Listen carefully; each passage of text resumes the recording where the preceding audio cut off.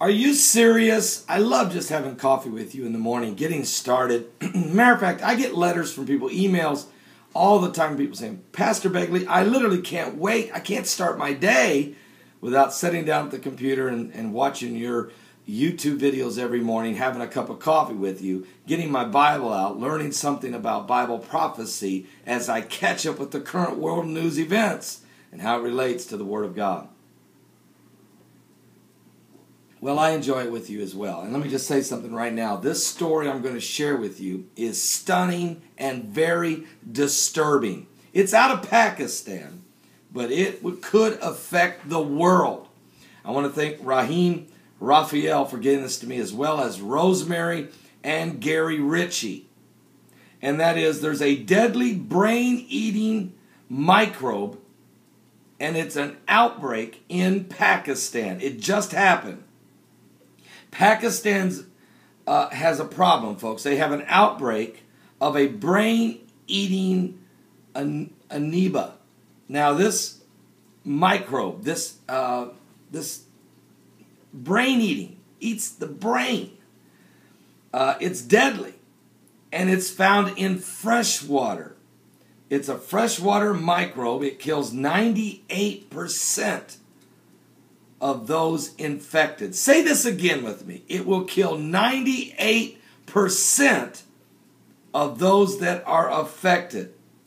Um, if you receive this infection from this micro uh, brain eating, it's just horrible. The source of the infection has yet to be identified. The amoeba is transmitted from contaminated water through the nasal cavity and travels to the brain, causing inflammation. Symptoms are initially mild, okay, which would include headaches, stiff neck, maybe a fever, and some stomach pain. It starts out mild. You think it's just a soup, uh, you know, some type of a flu symptom. You think you're just kind of getting ill, but within seven days, death is likely. Now, the ongoing outbreak has claimed 10 lives, including two children. Uh, the three most recent deaths occurred last week. Some of the ca- cases may not have been reported because in a you know in a, this city in Pakistan has 18 million people.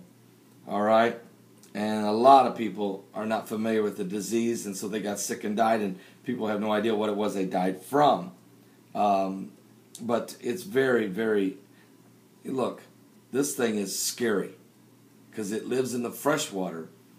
They don't know what it is, and it goes and eats your brain. Um, three people who have died in September had not been in a swimming pool. They first thought maybe it was only in swimming pools, but no.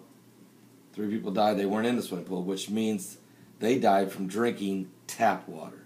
Now, if it's in the tap water, listen to me for a minute. We're not talking about stagnant water sitting over in some cesspool mentality where people get in and get, get around stuff that's really bad. We're not, we're not talking about just swimming pools where a lot of public bathing and somebody got infected and it's spreading. We're talking about tap water. We're talking about tap water. Are, are you serious? Are we talking about a wormwood? Now, I know what the Bible, I'm not saying this is wormwood. Because we know that there's a burning lamp that hits the earth. But, folks, the Bible told us, though, that we would have famines and pestilence in diver, and we'd have earthquakes in diverse places. We were prophesied to that we would have great diseases and death that would come upon the earth. This is very, very, very serious. We've got to watch this very closely because if this if this infection, if this microbe, this brain eating uh, infection is living in this microbe is living right in the tap water in Pakistan. It will not be limited to Pakistan. The waters of the earth constantly flow. Okay? They constantly flow.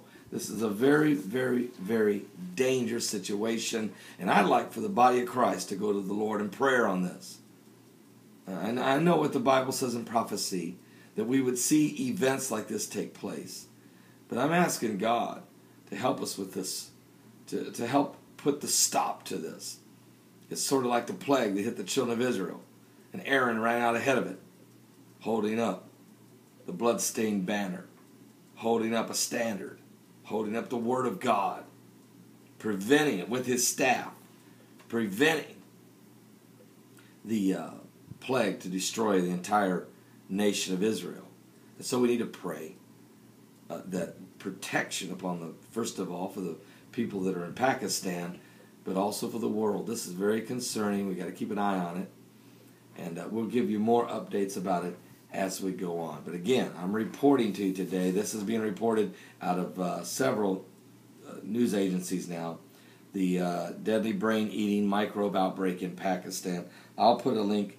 Russia RussiaToday.com is covering it right here, but there's a lot of others now. It's spreading as the word is getting out that this is a very serious because of its where it's at. It's not just in stagnant, stale, polluted waters. We're not talking about an overcrowded swimming pool. This was the first responses.